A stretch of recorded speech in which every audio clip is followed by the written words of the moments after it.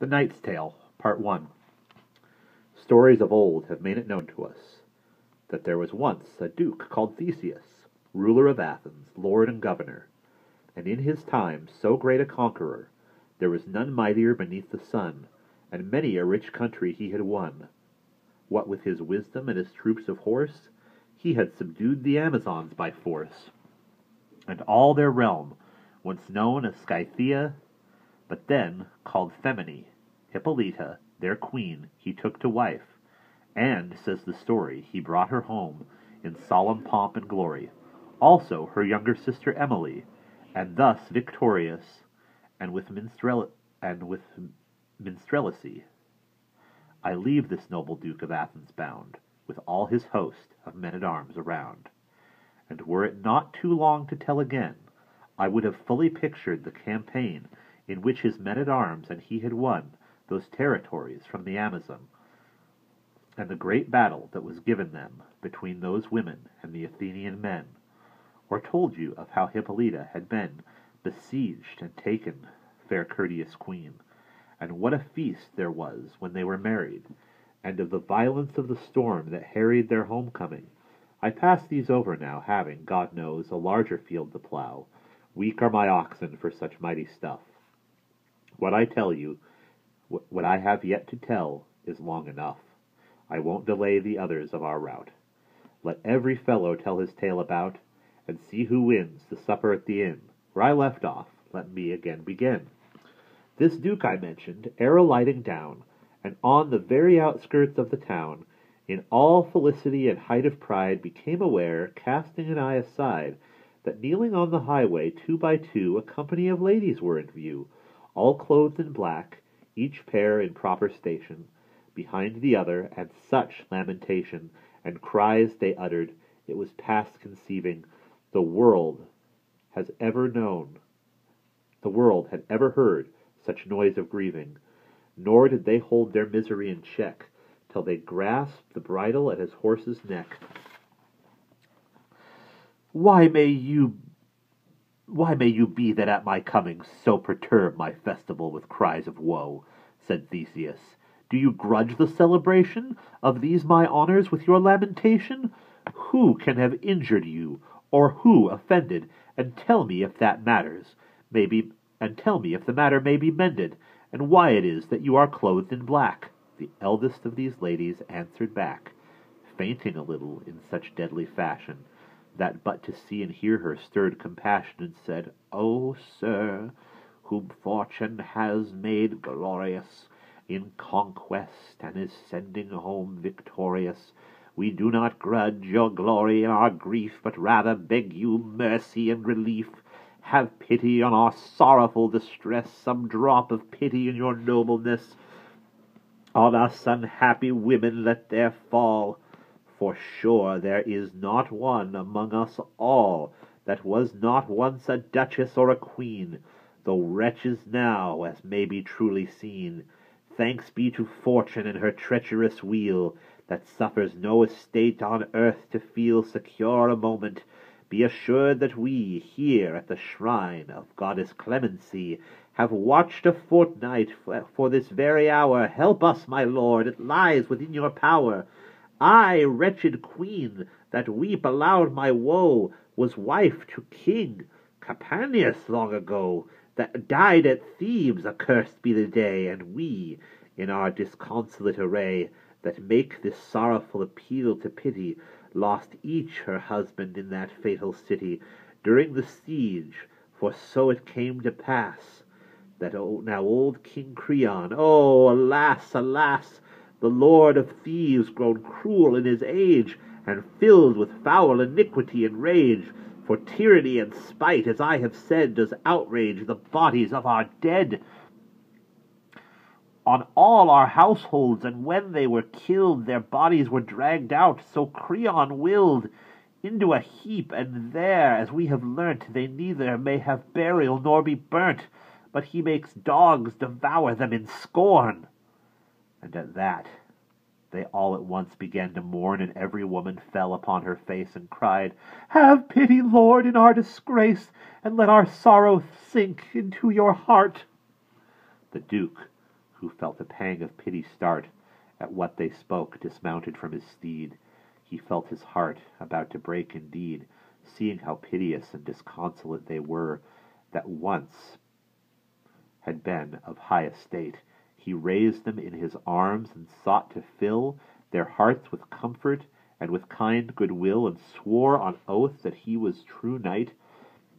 So far as it should lie within his might, he would take vengeance on this tyrant king, this Creon, till the land of Greece should ring with how he had encountered him and served the monster with the death he had deserved. Instantly, then, and with no more delay, he turned, and with his banners in display, made off for Thebes, with all his host beside. For not a step to Athens would he ride, nor take his ease so much as half a day, but marched into the night upon his way. But yet he sent Hippolyta but yet he sent Hippolyta, the queen, and Emily, her sister, the serene, on to Athens, where they were to dwell, and off he rode. There is no more to tell. The figure of red Mars with spear and targe so shone upon his banners, white and large, that all the meadows glittered up and down, and close by them his, pen- his pennon of renown shone rich with gold emblazoned with that feat his slaying of the Minotaur in Crete. Thus rode this Duke, thus rode this conqueror, and led his flower of chivalry into war, until he came to Thebes, to Thebes there to alight in splendor on a clean field to fight, and to speak briefly of so great a thing, he conquered Creon there, the Theban king, and slew him manfully as become a knight in open battle put his troops to fight, and by assault captured the city after, and rent it roof and wall and spar and rafter. And to the ladies he restored again the bones belonging to their husbands slain, to do as custom was their obsequies. But it were all too long to speak of these, or of the clamorous complaint and yearning these ladies uttered at the place of burning the bodies, or of all the courtesy that Theseus, noble in his victory, showed to the ladies when they went their way, I would be brief in what I have to say. Now, when Duke Theseus worthily had done justice on Creon, and when Thebes was won, that night, camped in a field, he took his rest, having disposed the land as he thought best. Crawling for ransack among heaps of slain, and stripping their accoutrements for, for gain, the pillagers went busily about after the battle on the field of rout, and so befell among the heaps they found, thrust with the bloody wounds upon the ground, two pale young knights there lying side by side, wearing the self-same arms blazoned in blazoned pride. Of these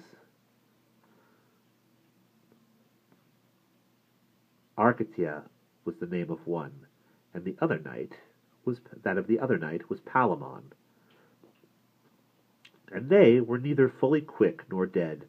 By coat of arms and crest upon head, the heralds knew, for all the filth and mud, that they were princes of royal blood. Two sisters of the house of Thebes had bore them, and out out of the heap of these pillagers out of the heap these pillagers had torn them, and gently carried them to Theseus's tent, and he decreed they should at once be sent to Athens, and gave order they be kept perpetual prisoners. He would accept no ransom for them. This was done, and then the noble duke turned homeward with his men, crowned with the laurel of victory. And there was and there in honor and felicity he lived his life. What more is there to say? And in a tower, in grief and anguish lay, Archite and Palamon, beyond all doubt, forever, for no gold could buy them out. Year after year went by, day after day, until one morning in the month of May, young Emily, that fairer of the that fairer was of mien than is a lily on its stalk of green, and fresher in her coloring, that strove with early roses in Maytime grove, I know not which was fairer of the two, Ere it was day, as she was wont to do, Rose and arrayed her beauty as was right, For May will have no sluggardy at night, season that pricks in every gentle heart, awakening from sleep, and bids it start, saying, Arise, do thine observance due. And this made Emily recall anew the honour due in May as she arose, her beauties freshly clad, to speak of those. Her yellow hair was braided in a tress, behind her back a yard in length, I guess. And in the garden, at the sun's uprising, hither and thither at her own devising, she wandered, gathering flowers white and red, to make a subtle garland for her head, and like an angel sang a heavenly song. The great grim tower keep, so thick and strong, principal dungeon at the castle's core, where the two knights of whom I spoke before and shall again were shut, if you recall, was close adjoining to the garden wall where Emily chose her pleasures and adornings. Bright was the sun this loveliest of mornings, and the sad prisoner Palamon had risen with license from the jailer of the prison, as was his wont, and roamed a chamber high above the city, whence he could descry the noble buildings and the branching green where Emily, the radiant and serene, went pausing in her walk and roaming on. This sorrowful prisoner, this Palamon, was pacing round his chamber to and fro, lamenting to himself in all his woe. Alas, he said, that I was ever born, and it so happened on this May day morn, though through a deep window set with many bars, of mighty iron squared with massive spars, he chanced on Emily to cast his eye, and as he did, he blenched and gave a cry, as though he had been stabbed, and in the heart, and at the cry. Arcita gave a start, and said, My cousin Palamon, what ails you? How deadly pale you look! Your colour fails you. Why did you cry? Who can have given offence? For God's love, take things patiently, have sense, think. We are prisoners and shall always be. Fortune has given us this adversity.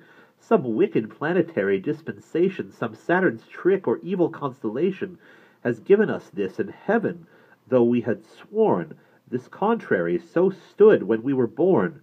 We must endure it. That's the long and the short. And that is where we will stop.